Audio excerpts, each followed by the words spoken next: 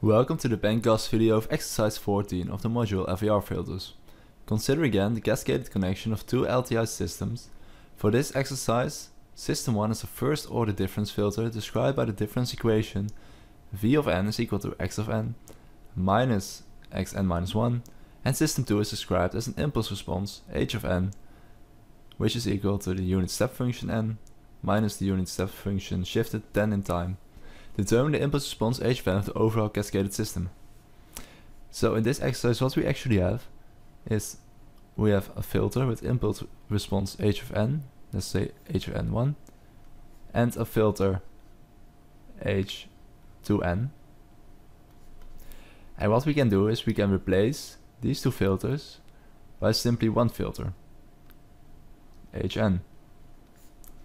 The impulse response which makes them equal is in the case that h of n is equal to the convolution sum of h1n, so convolution h2n.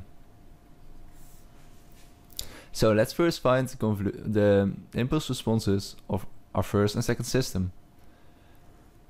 Of system 1, our impulse response, h1 of n, is can be described for an input which is equal to a delta pulse. So we have delta n minus delta n minus 1. Our second system has an impulse response which actually exists or contains uh, unit step functions. What we can do is to we can rewrite this as delta pulses. So let's assume that we have the unit step function. So starting at so let's draw this one. It starts at n is 1, so 1, 2, 3, 4, 5, 6, 7, 8, 9, 10, etc, etc. So this is our 10 mark, let's say. And let's also draw this one. However, this one is negated. So it starts this time at 10 and is negative. And continues on forever, and so does the red one. So if we were to add these signals, what we would end up with is just one signal.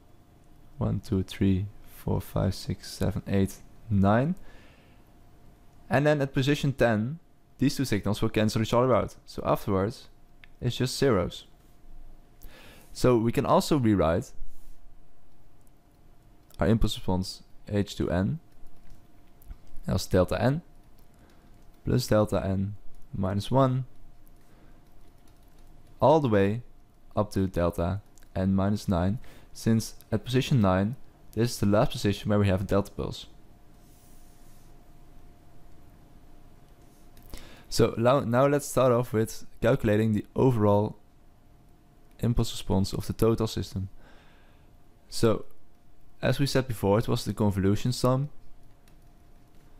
between the first system the impulse, response of the first system and the impulse response of the second system, which we can calculate as the summation of k is equal to 0 up to 1, since our impulse response of A1 exists only out, out of two inputs, so yes, H1 k multiplied with H and minus k.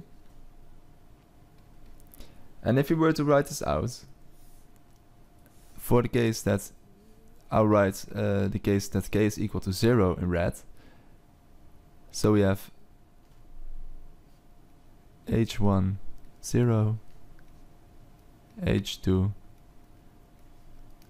and minus 0 and the case that k is equal to 1 I'll write in green.